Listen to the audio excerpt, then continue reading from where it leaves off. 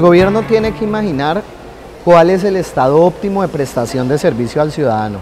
El estado óptimo es donde todo se presta en línea.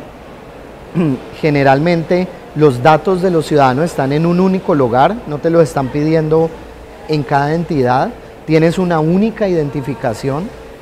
Eh, eh, ese es como un gobierno ideal.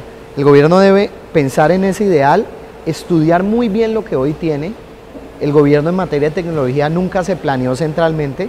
Cada entidad compraba sus computadores, compraba un servidor, se conectaba a internet. Eso ya requiere una mayor orquestación para llegar a ese, a ese estado ideal. Entonces el primer paso es ponerse esas metas de gobierno digital, mirar lo que hoy se tiene y con base en eso crear un plan que es lo que yo llamaría una agenda de digitalización del gobierno.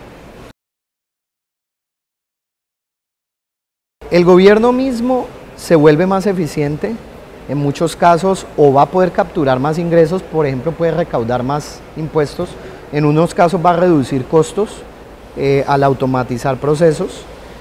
Como ciudadanos vamos a tener mejores servicios, mejoran nuestros tiempos de atención en hospitales, eh, mejora la calidad de la educación, mejoran los tiempos de transporte público si, por ejemplo, organizan mejor la logística de transporte público a, a partir de sensores